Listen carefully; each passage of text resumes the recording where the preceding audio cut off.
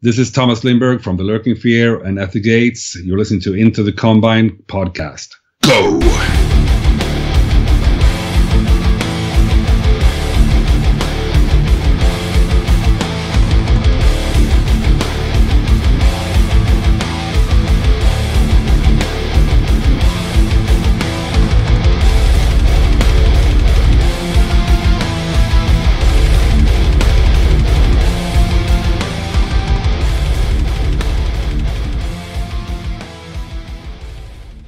You uh, you are a, a man who needs no introduction. Obviously, you've been in a ton of different bands, projects. You know, you've done many different subgenres of metal at this point. So I guess with this new project, the Lurking Fear uh, that you're involved with, why did what what made you want to go with more of a old school, straightforward death metal uh, sounding band? Uh, well, there was. Um, I mean, we started talking about it. Basically, there's been talk about different bands involving these five guys before uh, just putting them all into one concept.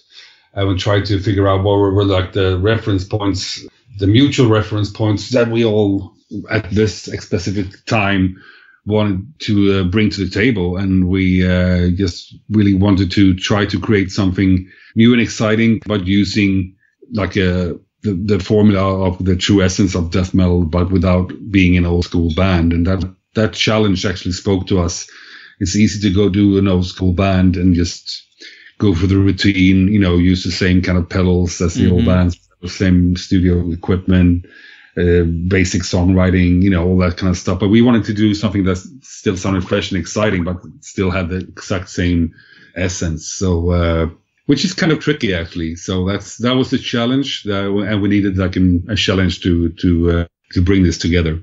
So how how do you approach doing that then? Because that is a great point to play this style of music, but without retreading the past or just being a throwback band, which it's definitely not. Yeah, that's that's that's uh, the fine line all the time, you know. And uh, uh, I guess we came to the conclusion that every band is like a how can you say like a sum of its influences.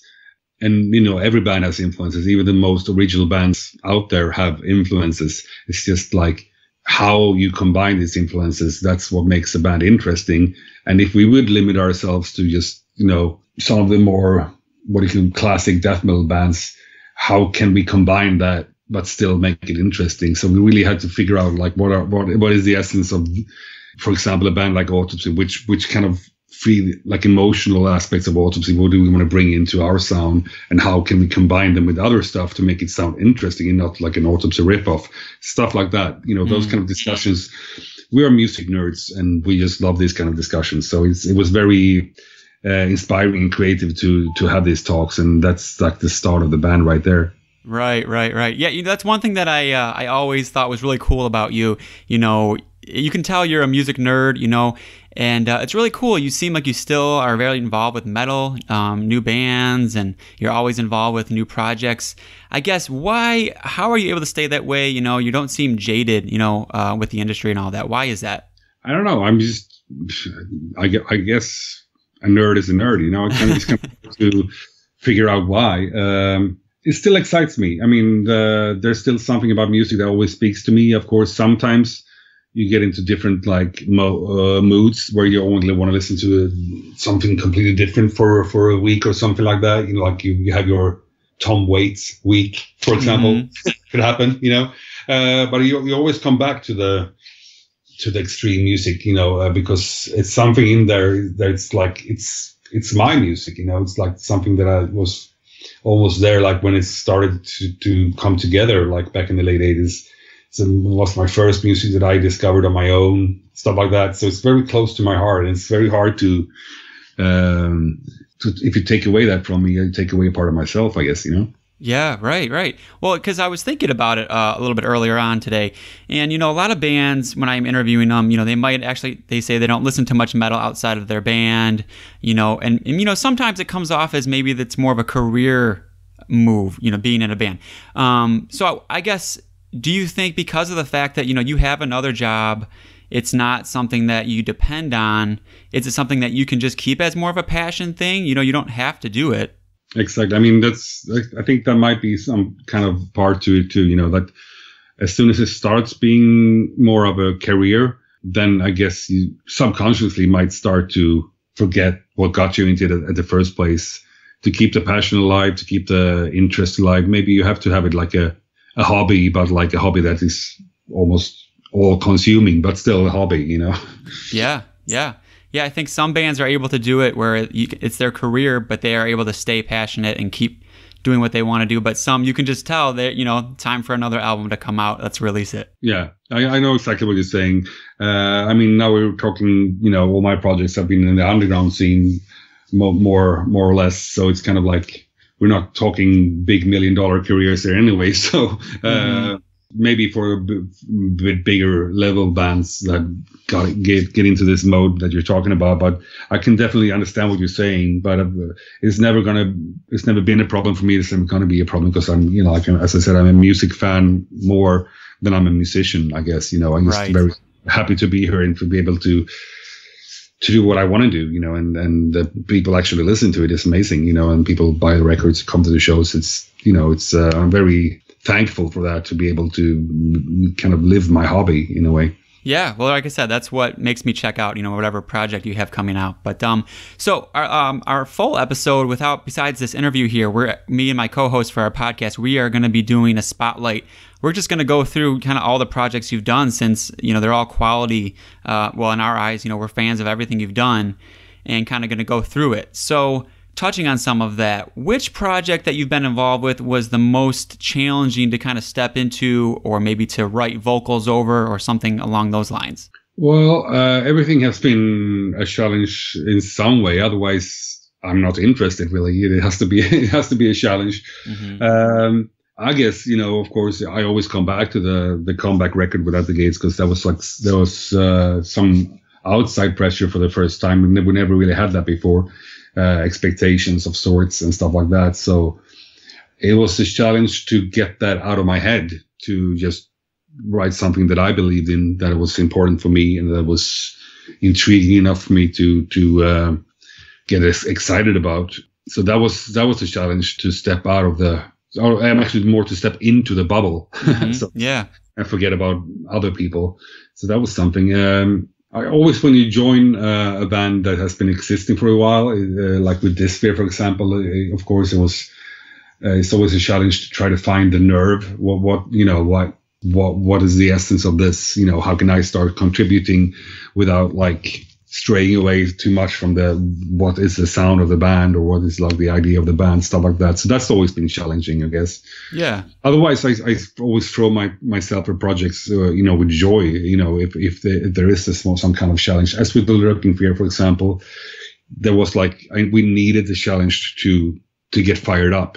It was too easy you know to figure out like let's just do this. Then there wouldn't be a challenge then it wouldn't be fun you know? Yeah sure for sure. So, can you think of a time or a song or something like that where um, you kind of had to push yourself outside of your comfort zone, or you tried something different, or um, you know, progressed a, a, bit?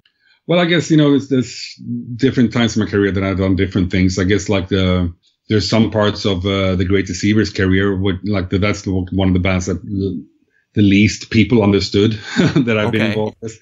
Uh, there's some parts there where there's like more like normal vocals, stuff like that, that kind of, I had to, uh, push myself a little bit out of the comfort zone for that, I guess, you know.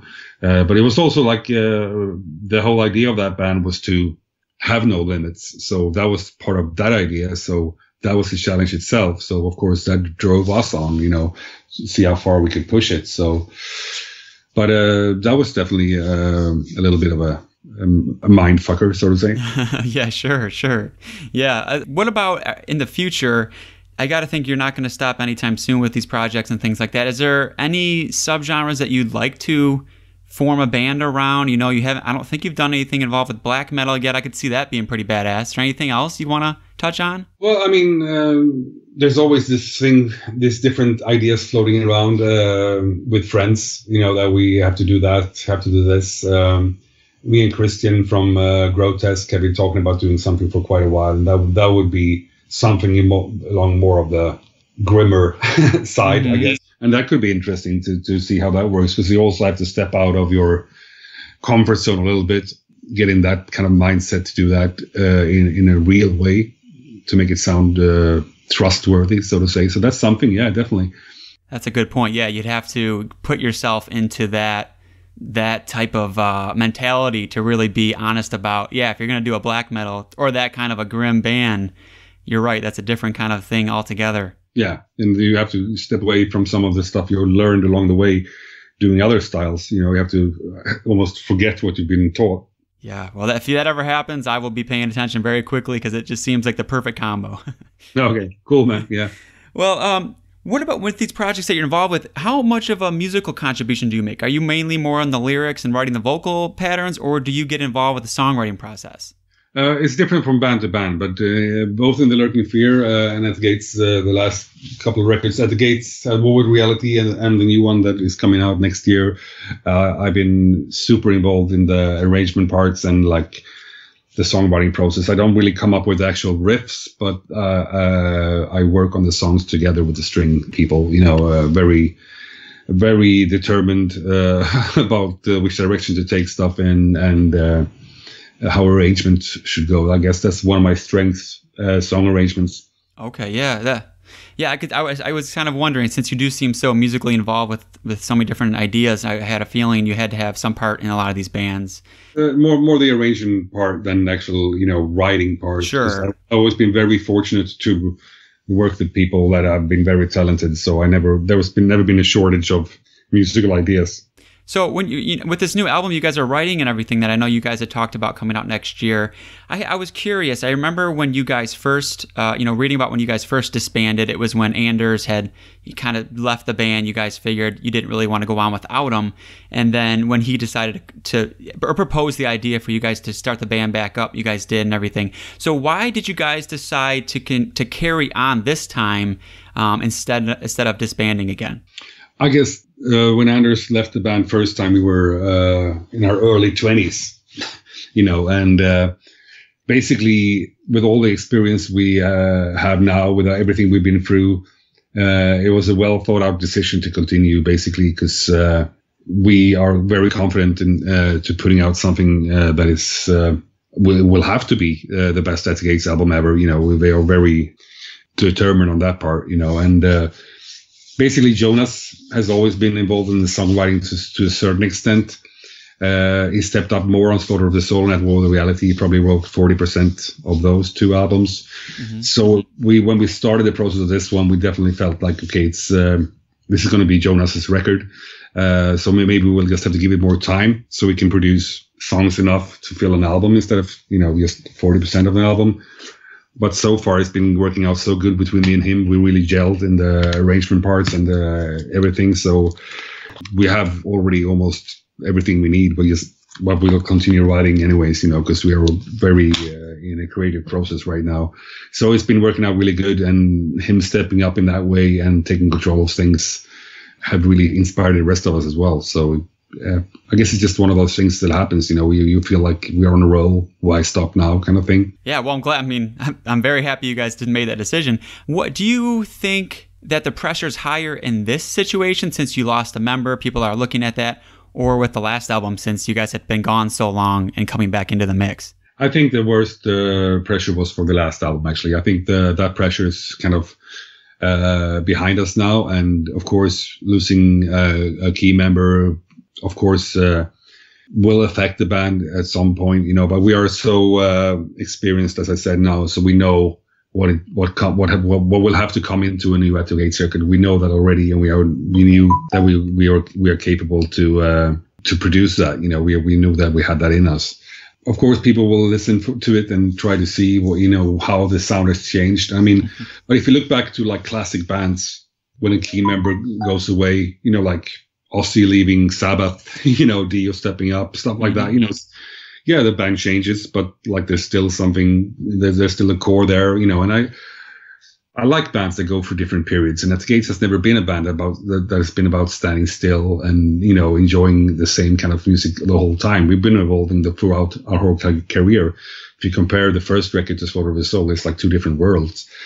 And we lost a key member already when we lost Alf uh, back in the day. So we've been through this before, and we know how to cope with it. Basically. Yeah, I agree. It, it's something that can freshen up a band at times. You Just it's, it's you never know what what can happen. So we'll be looking yeah. forward to that one. Do I mean with with your guys' legacy and everything?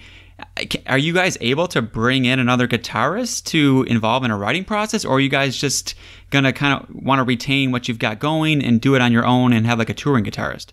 Uh, well, um, I will have to say that there's news coming up upon uh, on that subject uh, in uh, in a month or so, or two months maybe. We we know what's going on, and we're, we're very happy with it. But uh, I think uh, the record label wants us to to hold a little bit on that. Sure, you know? sure, yeah. Uh, but there, things have cleared up. We we know what's going on, and I will get it back to you on that. Okay, right, right, right. Well, that's awesome. That, that sounds like good news. The political answer. I'm sorry. that's okay. Um, all right. Well, um, one more question I had about at the gates was um, back when you guys took a break and all that. I know you guys at that time the legacy wasn't formed yet. When did you realize that there was something bigger than you ever realized, and you kind of were leaving a legacy? Uh, I don't know. It's kind of um, hard to pick one point. I mean, it's like coming back uh, like the, the, the the gap in between was not like we didn't really uh, understand it then. I guess it was coming back in 2008 that you know the reception was beyond what we what we expected, and that's also why we decided to continue beyond 2008. You know, because we felt that a lot of people had missed it. We wanted to do more because uh, we didn't we didn't you know we are we are people with feet both feet on the ground, very grounded, very uh, humble, I guess. You know, when it comes to ourselves, so we didn't see that coming at all that it was going to be that big. So the 2008 uh, tour was definitely an eye opener for us. Yeah, oh, I can imagine. And uh, well, we're glad. Uh, you know, we're looking forward to that album, and I'm really enjoying this Lurking Fear album that's out right now. So we'll definitely be playing some of that on the episode and pushing that one. Cool, thanks. And th- you know, thanks for doing the interview and everything. It's been, um, you know, we've always wanted to talk to you, so this is a great timing. Cool, man. We'll probably talk to you again in uh, in about half a year or something.